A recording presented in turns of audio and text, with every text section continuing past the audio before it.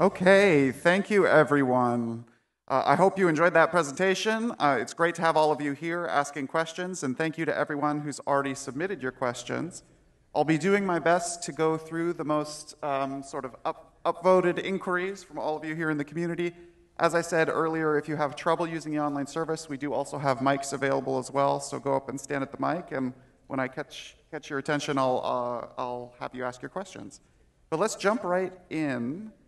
The top voted question, Dries, is how have the last two years changed your thinking about uh, our continued reliance on in person events for both building the project and funding the Drupal Association? Hmm. I mean, I think in person events have always been critical to Drupal's success. Um, so I wouldn't want to get rid of them in any way or shape, you know. Um, I think it's hard sometimes to work together um, without never having met each other in person. I think, I mean, it's entirely doable, of course, and you know, we're, we're the the proof of that. But what I've noticed in the last 21 years is that relationships can really change um, once you've met somebody in person. It, it's a lot harder to be, you know, to be, you know, people.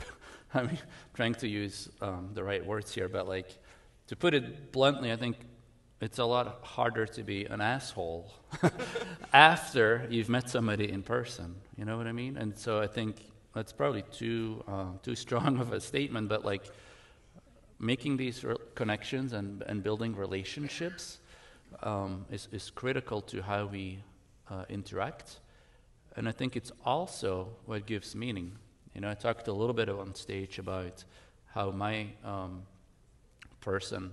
A purpose has changed over the years, and it's today it's a combination of meaningful work as well as the, the meaningful relationships that I've built uh, over the many years in the Drupal project. And I, I really do believe that they've become meaningful relationships because we've met in person. You know, it doesn't mean you couldn't have a meaningful relationship with somebody uh, just uh, without meeting in person, but I do think it helps a lot. You know, it helps a lot to uh, hang out together, uh, get to know each other more on a personal level than just talking about uh, maybe code or you know that kind of stuff. So I'm kind of long-winded here, but I think it's critical. You know, I would never want to see events go away. I think that's fair, and I think speaking from the Drupal Association's perspective um, events have always been a big part of who we are. As, as Dries mentioned in one of the earlier sessions this week, the Drupal Association was founded out of the kind of surprise that DrupalCon events, volunteer driven, were getting bigger and bigger and bigger mm-hmm. and creating this community of people and a, a, source of funding that could be used to do a greater good, to amplify the Drupal project further. And since then, obviously, we've become, you know, aware of the risks that, that come along with uh, that having a major funding source be these in-person events, right? We had to weather that storm over the course of the last two years, and we did it very well thanks to um, some really good planning at the board and leadership level of the association and the support of the community, which was critical. Um, but I know that's a conversation that we talk about a lot and that the board talks about a lot, is just that diversification of of the base of the Drupal Association support so that we can ad- adapt to these changing situations.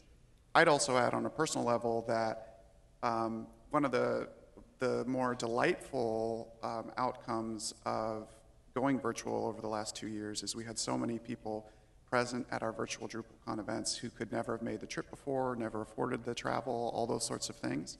And that's something we've also talked about how to capitalize on that again in future and make that possible. And one of the things we've realized, um, and I don't know how many hybrid events any of you may have attended before, like the idea of doing the simultaneous in person and, and virtual, is those can be very tricky. Like I myself found myself um, feeling a little bit left out of, uh, I think it was the All Things Open conference, which I attended as one of the virtual speakers.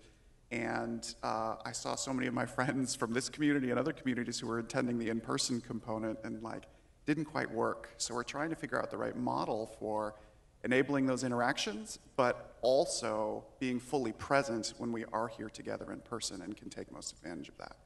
So I hope that begins to answer the question, and I'm sure, sure we can go through it more.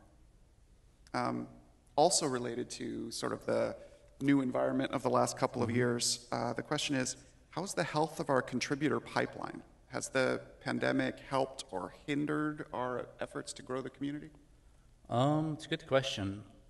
I think it's um, I would give it a mixed scorecard in a way. Um, I think the commercial ecosystem is doing well and they're hiring people. Um, so that's a very positive um, sort of result. And, and I see it at Acquia, my own company as well. Uh, the negative is actually that a lot of these people have been so busy uh, dealing with client work that they haven't had the chance to contribute as much, um, and and also maybe had some, you know, fatigue uh, because they're always on their computers. so we've what we've seen is that we've uh, you know Drupal is kind of accelerating. Uh, the businesses in the Drupal ecosystem are accelerating. Uh, but we, we did see a, a, small drop in total amount of contribution. Now, the other thing that I should add, because I did all this analysis on it, um, because I look at contribution annually, which I've come to realize might not be the right way uh, to do it because there is a cycle. Um, you know, there's a time element to contribution. So what we see is that just before a major release of Drupal, there's this huge spike of contribution because um, all of the contributors are trying to get their modules ready. And so when I looked at the data, uh, last time I looked at the data was like six months ago, we saw a, a, short drop, a small drop in contribution, but we're also, we were also not measuring like this peak of the cycle. You know what I mean? So I fully expect um, that contribution will go up this year because of the Drupal 10 uh, release cycle and the timing uh, elements of that. So, um, so anyway, I think overall the community has stayed pretty healthy despite um, despite everything. I think that's my perception as well. I'd love to actually ask you to, I mean, speaking of contribution, at the end of your presentation, you gave kind of a vision of more organizational contribution. Mm-hmm. Um, and maybe you could just expand a little bit on what you're seeing as the right first step for an organization who's interested in doing that to take uh, yeah, yeah. to begin this process. Yeah, I mean, I think there's many different ways to get involved, but it always helps, I think, if you if you start with something that you are actually you know passionate about or that you have a need for yourself or that you see one of your customers uh, has a need for i mean i think it's a, a, natural place to get started with those things. Um, and that could be anything from making our documentation better to you know fixing a bug that you've run into to um, you know taking on something that you really need yourself. Like if you look at the history of some of the bigger innovations, um, you know, a lot of the workflow tools that we added to Drupal 9 were actually funded by Pfizer. You know, they said we need these improvements, um, and we're going to contribute them to Drupal core because they also recognized that they could build them really quick for themselves or even put them in contrib, but they've made a long-term strategic bet on Drupal. They want to keep using Drupal for the next 10, 20 years. And so, if you think long term, it actually makes a lot of sense to try and get these things into core so that the community as a whole kind of you know keeps innovating and improving on those core capabilities right? So um, sometimes it's it's driven from like a need like that you know like a, something that's missing in Drupal. So um, yeah. Okay awesome. Uh, so the next question here has to do with the extension of Drupal 7 end of life, mm-hmm. which is mm-hmm. something we've mentioned uh, across a couple other presentations. And the, um, the question asks, how can we best confront the reality that Drupal 7's remarkably durability represents a, a branch or even a fork of Drupal in a mm-hmm. way with its longevity, and one that might need maintenance perhaps in perpetuity? Uh, how do you think about it? Yeah, well, I was the person that helped push for the, the extension. Um, and, you know, as you know, it was a topic of debate, right? And not everybody liked the fact that we extended Drupal 7, but at the end of the day, when we looked at the data, you know, 60% of all the Drupal sites uh, were still using Drupal 7. And it just didn't feel right to not support those people.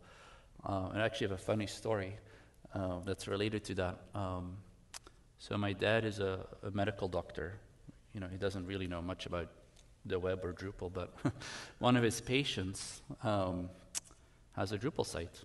Uh, she runs a small nonprofit, and they use Drupal 7, and they've, they've it integrated with CiviCRM. And it's a nonprofit that helps, um, I think it helps women with cancer. Uh, and she has a very small budget, and she went to visit my dad, you know. and she starts complaining to my dad that uh, she has to upgrade from Drupal 7 to Drupal 9. And of course, my dad is like, oh, here's, here's my son's phone number. you should give him a call. And she did. And we had a great conversation. And, uh, she, and she was saying, like, you know, my budget is $10,000 a year. Um, you know, we spent all of it building our websites uh, five years ago or six. I forgot what she said, but maybe 10 years ago. And we really don't have the money. We do not have the money to upgrade. We can't do it, you know? And I think there's a lot of people in that situation that literally can do it. So sometimes I hear people say, well, you know, we should stop support, people just have to upgrade. But the reality is, a lot of organizations just can't afford to upgrade. And that's why I felt it was the responsible thing to do to extend the life of Drupal 7. And we're doing it sort of minimally, you know, we're not committing to fixing bugs. We're, we actually reduced the scope of it too. We said we're only going to focus on sort of important or critical security updates. Um, you know, you know, like Acquia even committed uh, to helping uh, doing most of the work, frankly. Um, and so I think it's it's good. You know, it's good for our end users, um, and and that's what I mean. I feel strongly that it's the right thing to do. Uh, I also understand it is a burden uh, on on some people. Um, I also understand that uh, it may have caused some some pipeline to dry up for some of the Drupal shops because all of a sudden we gave some relief um, and, and, all of these things. But the reality is, these organizations they do have to upgrade, and um, it's not just because of Drupal, but a lot of these sites are built on I forgot what it was, which version of PHP, but uh, that version of PHP is actually end of life in November of this year. so even though we will provide support for Drupal 7, uh, their underlying platform, PHP and, and even MySQL, probably are end of life, you know. So th- there is other problems and other drivers that hopefully will encourage uh, organizations to upgrade. So, awesome, thank you. Um, I think the next question here relates a little bit to our conversation about the future of the web on Monday um, and emerging technologies, which is um, the question is how can Drupal best take advantage of the boom in Web3 technologies, and what do we risk if we don't quickly adopt them? And maybe first I should ask, what's your understanding of what Web3 mm-hmm. technologies mm-hmm. are, what that could mean? Yeah, yeah. Um, I think it means, so first of all, I'm very concerned about the impact on climate and on the environment. And so I think we have to tread very carefully. Um, and I think we have to find the right balance. Like, I think we have to be curious about them and monitor what's going on.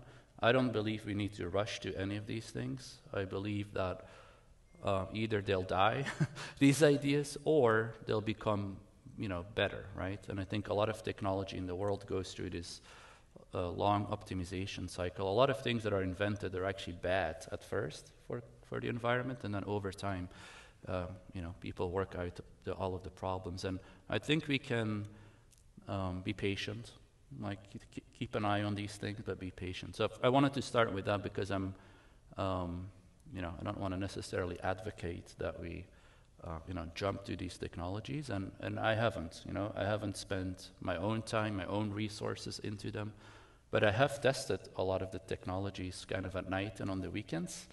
Um, so I feel like I have a, have a reasonable handle on what they are. Um, there's probably a lot to talk about there, but in a way, I think about them as, um, you know, a set of uh, services that we may or may not want to use in our in our in our projects. Um, like let, let me give an example of that. I mean, you have some core technologies like um, ENS, which is an alternative to DNS and, and these kinds of things. Uh, you have the interplanetary file system, which is actually not blockchain based, but uh, it's a new uh, file system technology that's more decentralized. They have a blockchain layer to it, which is called Filecoin, and, and some alternatives that provide incentive models using the blockchain to um, incentivize organizations to replicate data, uh, which is interesting. Um, but I do believe there's going to be new technologies in the future. Like one example, there's a lot of innovation sort of in financial services right now. Uh, and so let's say you have an e commerce website. Um, one of the hot trends in the last few years is like this, and you probably all have seen it, where you can buy something, and when you pay for it, you're actually uh, signing up for a loan, and you can pay it in 12 months. You know, have you seen those things? Um, I feel like it came out of nowhere. But so there's third-party companies that provide these kind of loans for e-commerce purchases, and like a component like this, I, I could see a blockchain-based alternative where you don't have to rely on a central company like a bank or a financial institution to provide these loans. I could see that being a completely automated service with a smart contract that just brokers uh, between different parties. And I can see that being interesting because I can see that being uh, at lower interest rates than banks. And now, that is interesting because if I can offer that kind of pay over time service at a lower interest rate, the product will cost me less, right, as an end user. And so now I can see organizations adopting that because either they have to pay less to these financial institutions or they can make the product available at a more attractive price. So I think at some point we'll see services like that. And I think of them as a web service that you may want to use in your um, e commerce website implementations. But at the end of the day, we'll be building websites in HTML, CSS, JavaScript, and we'll be integrating with some of these, potentially, be integrating with some of these uh, components. Um, that's how I think about it. I don't know, maybe I'm oversimplifying it, uh, Tim, but. Uh, and then I also do think there might be some interesting outcomes, not for how we build websites, but how we run an open source project. You know, like there's a lot of experimentation with uh, governance models and how do you make um, sort of decentralized decisions. Uh, funding models, I think, is interesting. Uh, I mean, I don't like NFTs at all, but there are some interesting ideas, which is basically how do we make sure that value, you know, artists create things, developers are kind of artists, they create things. How can we make value go back to the artist? How can we um, when somebody maintains and builds something, how can we actually reward them, you know, financially? Uh, is there models for sustaining open source? Uh, it's early, early days, I think, but you can see some experiments, um, which I think is interesting. But again, to me, to be very clear, it's only interesting if we can do it in a responsible way. And um, who knows what will happen. So I would encourage people to pay attention. Doesn't mean you have to um, you can pay attention without having to make huge investments in it or even any investment in it. So, very cool.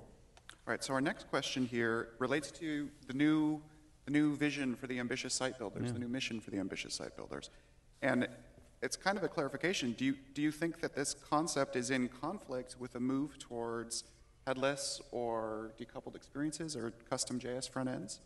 I don't I don't think so really. Um, it might feel like that to people at first, but then you look at something like Next uh, JS for Drupal, it's basically a decoupled uh, UI, which um, allows you to build forms with it and like you know drag and drop things. So I think they go hand in hand.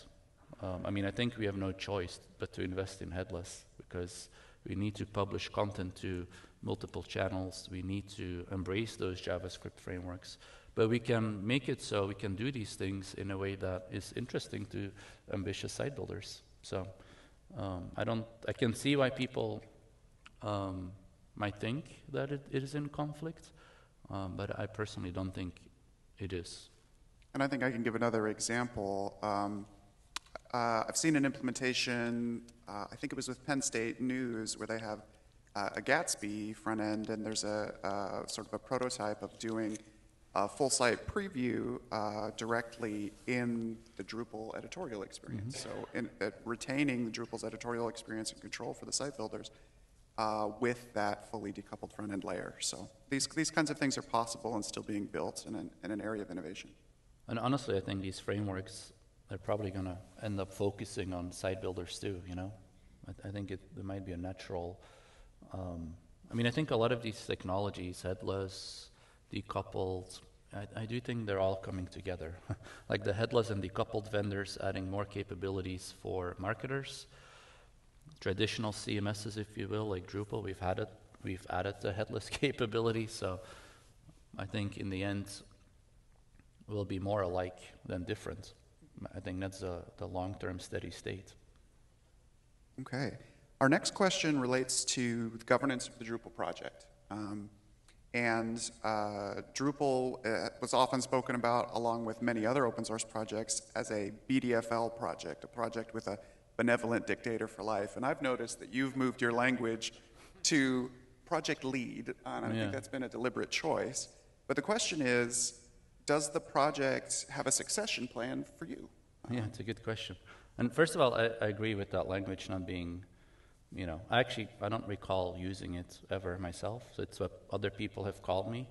Um, but yeah, I, I do think a lot about succession planning, and um, you know, over the many years, I feel like I've put a lot of things in place. People may not think about it that way, but like even the Drupal Association is kind of part of a succession plan because I ended up in the early days, um, you know, I administered to Drupal.org. um, that was what I did, you know, and, and obviously that's been taken over by the Drupal Association. Um, you know, on the core committer side, we have a great team of core committers. Um, you know, we add people.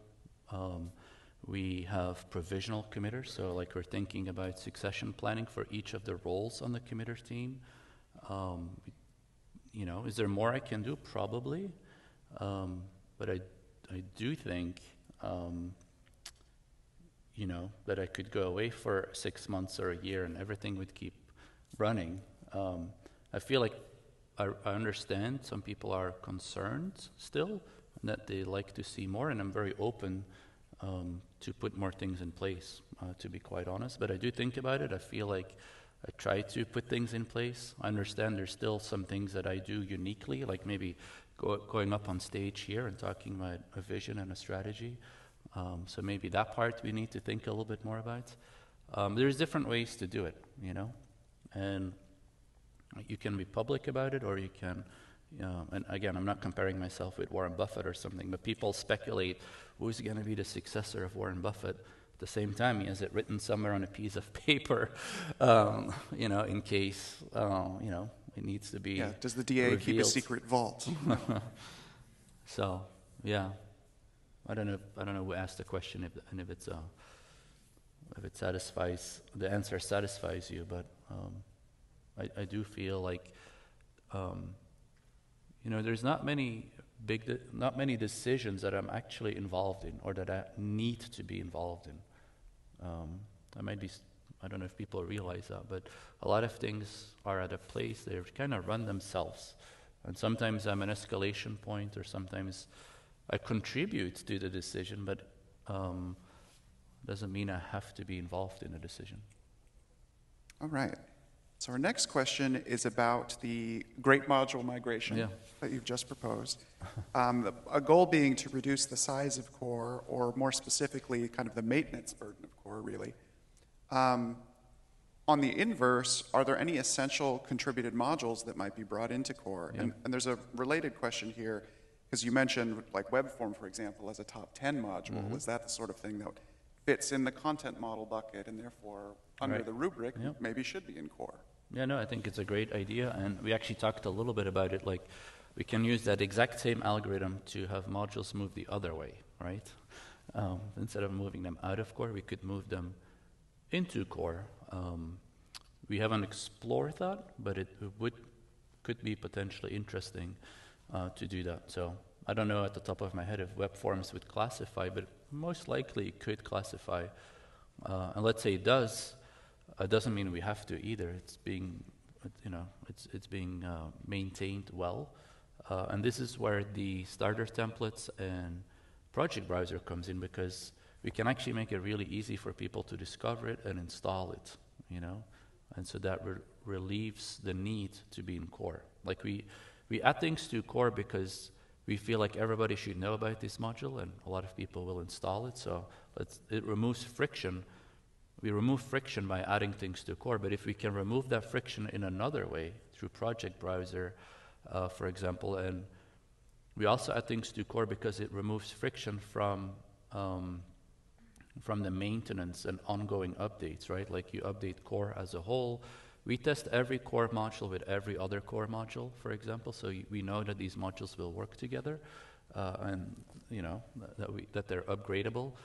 Um, but I think we can get to some of the same ideas through uh, project browser, starter kits, automa- automatic updates, all of these things, and that would be pretty compelling to me.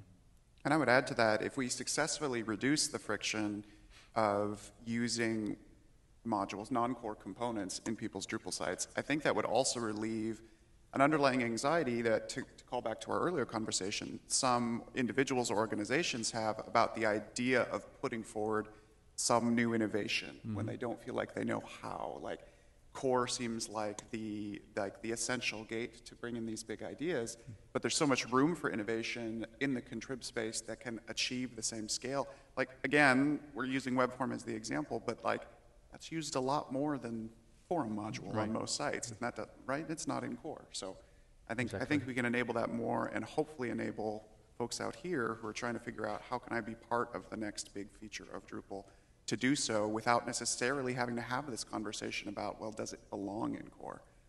Um, let's take a question from the microphone. Hello.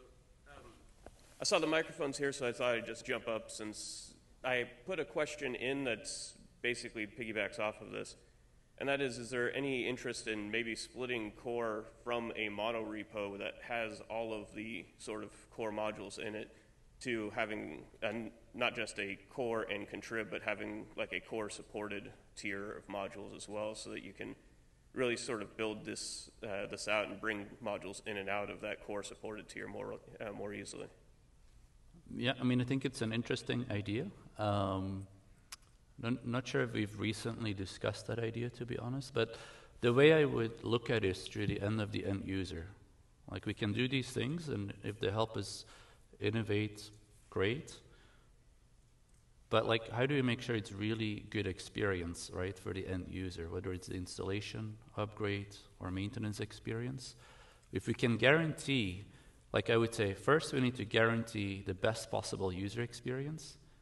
And then the second thing is like, how do we, uh, what, what's the organizational structure for how we build uh, these modules? So I think if we can guarantee a great user experience and do this because maybe it helps us go faster, then we should strongly consider it.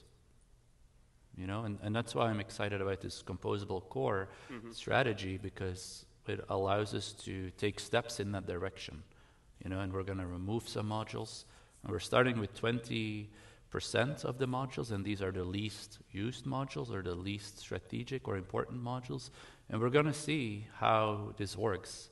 You know, we're going to take a first step, and then if that goes well, I think to me that feels like maybe like a second step, right? Like we can learn from the experiences, and as the software project browser, which we haven't built yet, uh, matures, as, as we know that uh, automatic updates work, which is a really complex uh, thing to do because we, we don't want to break people's sites, obviously. Um, if we know that Project Browser works and starter templates, and we've built this robust, reliable automatic update system, then I think that opens a lot of doors for ideas like the one that you just, um, you know, suggested. So I think it's a good idea.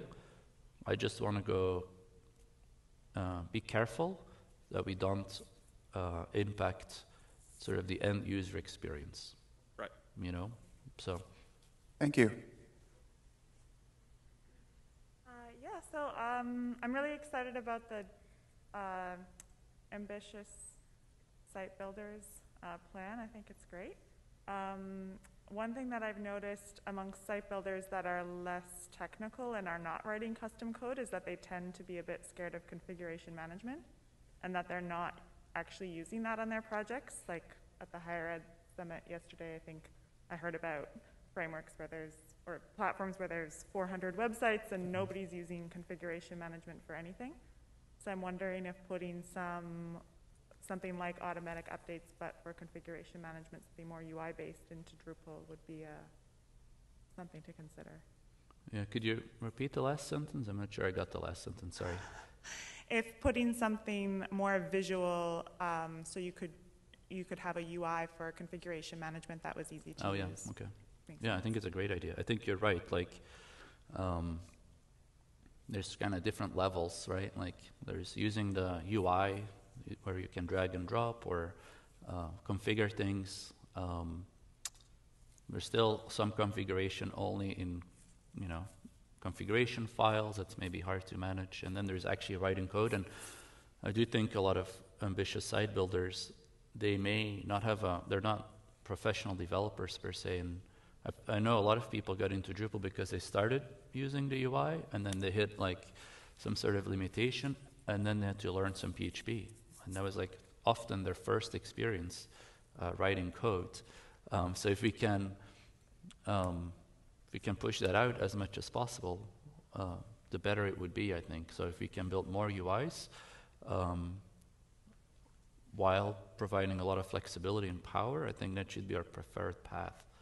Uh, so I would be curious um, what we can do around configuration management specifically to make that uh, easier for site builders. So, Awesome. Okay, back from our uh, set of online questions. Uh, our next question is what's, what's your continuing vision for decoupled experiences with Drupal or headless experiences with Drupal? yeah, no, it's a, it's a great question. Um, I mean, first of all, I think um, I- think what we have right now is is very good. um, I can tell you um, from my from what I see at Acquia, it, it's um, you know one point of view, but we don't lose deals against the contentfuls contentfuls of the world for for capabilities. When we lose a deal, it's only because they have a SaaS solution and it's kind of easier to install and they don't have to do updates. but it's never because of the headless capabilities. In fact, we often win because we have uh, better authoring, we have better multilingual, we have, you know, there's a lot of things better in Drupal. Uh, so just wanted to start with sort of the competitive uh, viewpoint. Um, but sometimes I feel like people don't realize how strong Drupal is in this space, you know. Um, at the same time, I think there's a lot of things we can do. Um, we can add more REST APIs to more parts of Drupal, and that's why we have the decoupled menu initiative. Because whenever somebody builds a um, JavaScript frontend, very often they hard code the menu, right? Um, and they do that with Contentful and others too, by the way. And so that was silly. I think that is silly, and so that's why where the decoupled menu initiative comes in because we want people to be able to administer, create, as- administer menus in Drupal. We want to empower, let's say, marketers or content creators to do that, and then magically their um, decoupled application is, is updated. And that's not something that competitors do. Uh, we have a code that works, we're trying to get it into core. Um, that's just one example, but there's other examples like that. You know, pieces that we can take, where we can say we can go from like, why are people hand coding this to, how can we make this um, sort of like you know uh, deeply integrated with the CMS. Um, so I think there's a list of opportunities like that. Um, and personally, and I alluded to this, I think it would be great if we could actually rewrite the Drupal admin UI uh, using a JavaScript solution at some point as well. The challenge is not, um, the challenge is like it's just a lot of work, and who's going to do it? um, but it, that would be healthy too for Drupal because it would really, uh, obviously, we would be eating our own dog food, as we say, or drinking our own champagne. Uh, I feel like that better. Um, you know. So- Absolutely. I think there's lots of folks out there who've been working on decoupled projects and headless projects who are well positioned to understand this problem space, to come in and take their recent cl- client work in this area and turn it into contributions. And in case some folks don't know, for uh, more than a year now, you have been able to publish components on Drupal.org, Drupal components other than just modules and themes. Right. You can publish JavaScript components. Um, you can configure pipelines uh, through new GitLab integration for publishing to NPM. All these sorts of things are possible now. So it should hopefully open up the capabilities for people who are working more in the JavaScript world to bring that back into our Drupal ecosystem. Yeah, one of, one of the things I would love to see, and maybe maybe somebody feels compelled uh, to work on it, uh, is um, a headless install profile in Core. Um, and so right now, when you install Drupal, you can select between I think standards, forgot what it's called actually, and Umami, let's say, as another install profile. But imagine there's another option that's like the headless install profile, which would pre-configure Drupal to for headless things. So it would basically disable things that you don't typically need in a pure headless uh, configuration because I think that would actually be good marketing too in a way like when you install Drupal you can you can actually see like look it has this other way of being configured um, and then it also kind of removes some friction out of the the configuration process because that's an advantage that some of these other um, systems have. Like they're just the experience. Again the experience is is optimized for that kind of use case and we haven't done that. So often people have to you know enable JSON API module because it's not enabled by default I think or they have to disable um, I don't know some stuff because it's not relevant for a headless application. And that might be a reasonably doable contribution you know that might be doable um, w- w- with a I don't know how long it would take but maybe a couple of weeks of work or something Get over to that contribution room and we'll get it done. yeah All right, let's take a question from the mic. Uh, it seems like one of the bigger challenges with upgrading from D7 to D9 is the lack of, uh, you know, where did this hook function go? How do I replace it? Is there any plans to add something like that to the documentation? Because currently it's like you can look through the comments and hopefully there's like a link to the D8 version in which you'll find one to the D9 version. Right. Are there, is there anything on the horizon for that? Or has that Um, been do you know? discuss- I'm not sure I know the answer to that. It's a good question. The current documentation, right, as, as you know on Drupal.org, you kind of get separated by major versions. So you have kind of the self-contained Drupal 7 and then the Drupal 9. I'm not aware that there is a like machine parsable mapping between what were the deprecated functions or the changes in functions from 7 to 9. So I don't think that is currently an active plan. I think um, probably this is an area, there's another question here as well about, you know, considering that, that Drupal 7's life has been extended and we have, you know, 55%, 60% of sites there, are there more efforts planned to make this upgrade path easier? Uh, And people um, a good continue to work on the upgrade path. Like, um, you know, there's a migrate modules in core, and every week there is improvements being made to these modules. Uh, so we're, con- you know, we're we're finding bugs or you know additions that we you know add to it all the time. Even though it's been out for a long time, it, it keeps on getting better. So And I, I think there's really something interesting about your question because it reminds me of what's being done today for the like 8, 9, 10 mm-hmm. cycle where we're using Drupal Rector and PHPStan to have automatic kind of deprecation patches and things like that. And there, there wasn't really an equivalent kind of bridge between 7 and 9. And maybe there's still room for people, people to try and work on one. Thank you Thank very you. much. thank you for the suggestion, though. Yeah. Good morning, it's Jason. Um, It's a privilege to be here, and uh, I have attended a few Driesnotes before. Um, In a previous talk, you, dis- you, I think you presented a video that walked through the different steps that it takes to get Drupal set up. And so I was wondering, um, I know that was a pain point, you know, in terms of like that steep um, learning curve to get like new people into the platform. Can you describe like how you feel about where Drupal stands now and, and making that objective, um, or if there's more uh, room for improvement. Yeah, no, I think we made a lot of progress, but there's more room for improvement. That's kind of the headline.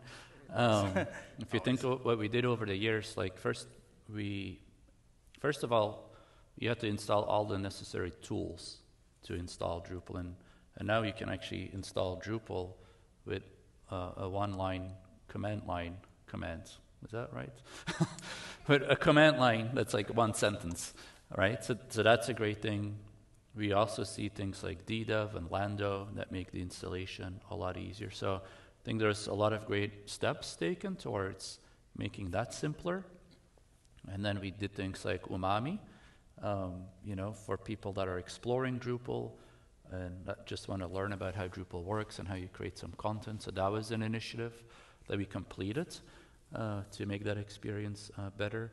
And in many ways, the project browser and the starter templates that I just talked about are kind of next steps in that kind of mission to really improve, um, you know, the, the onboarding uh, journey as well as the installation experience of Drupal. And honestly, I don't think it will ever be done. Um, we'll, we'll have to continue to work on this. And funny enough, I don't know if you were in the, was it the Monday uh, keynote panel? We had uh, Adam, was it Adam? uh, from uh, WordPress in the audience. I'm not sure if you are here, but he actually is, is a, is a WordPress core committer, uh, so deep into WordPress. And he was actually saying, like, wow, I, was, um, I installed Drupal and I was amazed how easy it is to install compared to WordPress. I mean, I don't think I would ever expect to hear these words in my lifetime, you know, uh, let alone from a, from a WordPress core committer, right? So what that means is we're making some good improvements, um, but I'm not, uh, you know, I'm well aware that we have many more improvements to make. So Thank you, Dries. Appreciate yeah, thank you. All right, let's take the next question. This may be our last one, or maybe we'll have time for one more. Let's see. Oh, good, I got in line. So, so um, yeah, Todd Smith, Digital World Biology. One question is the future of PHP. So, one of the challenges I see is getting students interested in it.